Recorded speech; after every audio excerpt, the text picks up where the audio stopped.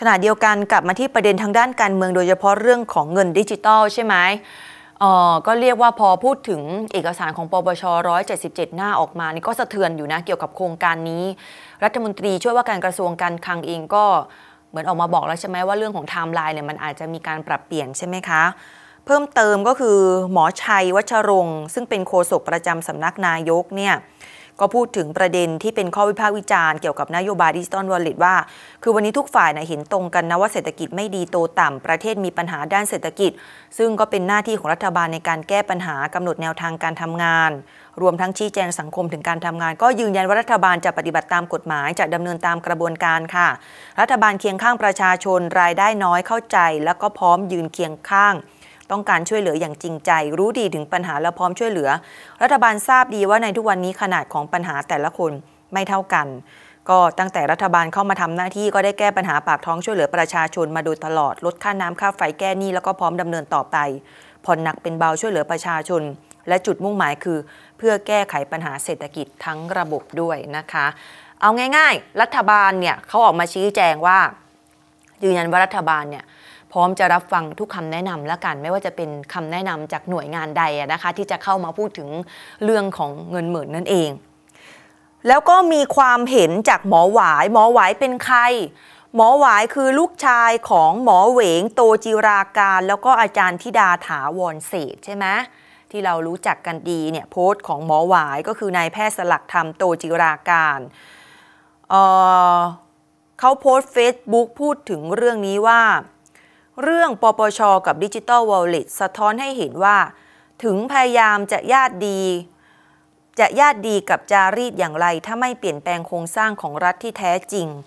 ต่อให้เป็นรัฐบาลก็ยากที่ทำอะไรที่เกินไปกว่ากรอบที่จารีตนิยม ขีดไว้ให้ทำได้ แปลไปพร้อมๆกันนะคะท่านผู้ชมคะอืมก็แปลไปตามโพสต์ก่อนแล้วกันนะคะท่านผู้ชม เอาแบบตามที่เข้าใจกันไปก่อนนะ เอื้อยก็ไม่อยากจะไปเหมือนแบบถ้าเอื้อยยังไม่เข้าใจเอื้อยก็ไม่อยากจะไปแปลหรือว่าบิดเบือนอะไรคำพูดเขาแต่เขาโพสต์แบบนี้นะคะนี่นะคะ ขณะเดียวกันทางด้านของนายกสมาคมทนายความแห่งประเทศไทยคุณนรินพงษ์จีนาพักก็ออกแถลงการบันทึกจากนายกสมาคมทนายความนะคะ จากที่ปรากฏว่ามีอนุกรรมการปปช แล้วมีคุณสุภาปิยจิติ เป็นประธานคณะทำงาน แล้วมาเสนอร่างข้อเสนอแนะต่อคณะรัฐมนตรีให้กรรมการปปชพิจารณา แล้วมีความเห็นลักษณะทำนองว่ารัฐบาลไม่ควรดำเนินนโยบายดิจิทัลวอลเล็ตเพราะว่ามีความเสี่ยงต่อการทุจริต ทางด้านนายกสมาคมทนายความแห่งประเทศไทยเขามีความเห็นและแบ่งเป็นข้อๆบอกว่า 1. เรื่องของข้ออ้างความเสี่ยงต่อการทุจริตเชิงนโยบาย เพราะว่าไม่ได้เป็นไปตามที่ได้หาเสียงและแจ้งต่อกกตไว้เนี่ยว่าจะใช้วิธีบริหารงบ โดยจะไม่กู้เงิน ซึ่งเป็นการทุจริตเชิงนโยบายและอาจผิดกฎหมายเลือกตั้ง นั้นเห็นว่าการที่รัฐบาลเขาจะเสนอร่างพระราชบัญญัติกู้เงิน 5 0 0แสนล้านบาทเพื่อเติมเงิน 10,000 บาทเนี่ยเป็นนโยบายของคณะรัฐมนตรี ที่ได้แถลงต่อรัฐสภา ตามรัฐธรรมนูญมาตรา 132 แต่ว่าคณะรัฐมนตรีไม่เคยแจ้งต่อกกตเพราะไม่มีหน้าที่ ดังปรากฏในหน้าสี่ของคำถแถลง นโยบายของคณะรัฐมนตรีเมื่อวันที่ 11 กันยายนปีที่แล้ว ส่วนที่เห็นว่าพรรคเพื่อไทยอาจจะผิดกฎหมายเลือกตั้งก็เป็นอำนาจของกกตที่จะดำเนินการ ส่วนปปชไม่มีหน้าที่ ส่วนข้อที่ 2 ข้ออ้างความเสี่ยงด้านเศรษฐกิจเพราะสถานการณ์เศรษฐกิจของไทยสิ้นสุดณวันที่ 30 กันยายนปีที่แล้วไม่ถือเป็นวิกฤต ตามความเห็นของนักวิชาการที่ปปชรับฟังความคิดเห็นมานั้นเห็นว่า ตามรัฐธรรมนูญมาตรา 158 คณะรัฐมนตรีมีหน้าที่บริหารราชการแผ่นดิน ดังนั้นการวินิจฉัยว่าประเทศเกิดวิกฤตทางเศรษฐกิจหรือไม่เป็นดุลพินิษทางบริหารของคณะรัฐมนตรีโดยมีรัฐสภาเป็นผู้ตรวจสอบค่ะ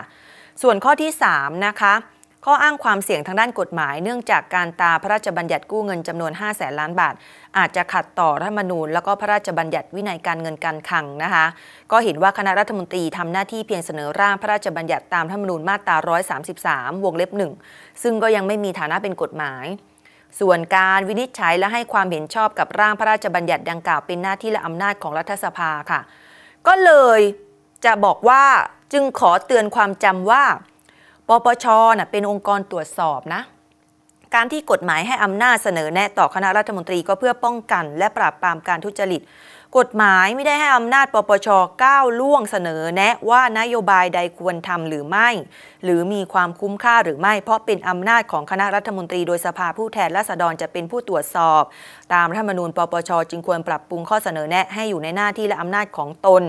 ไม่เช่นนั้นข้อเสนอแนะที่อ้างว่าทำด้วยความหวังดีจะกลายเป็นล้ำเส้นเพราะอคติแทนนี่นะคะ ลงท้ายคุณนรินพงษ์จินาพัก นายกสมาคมทนายความแห่งประเทศไทยค่ะ อ่า นี่นี่เห็นไหมรัฐบาลเขาก็บอกว่าเขารับฟังทุกส่วนนะนะ ก็มีหลาย ๆ ความคิดเห็นนะคะนี่นะคะ ดูคลิปจบแล้วฝากกดไลค์ กดแชร์ กด Subscribe แล้วฝากสมัครสมาชิกด้วยการสแกน QR Code ด้วยนะคะ ขอบพระคุณค่ะ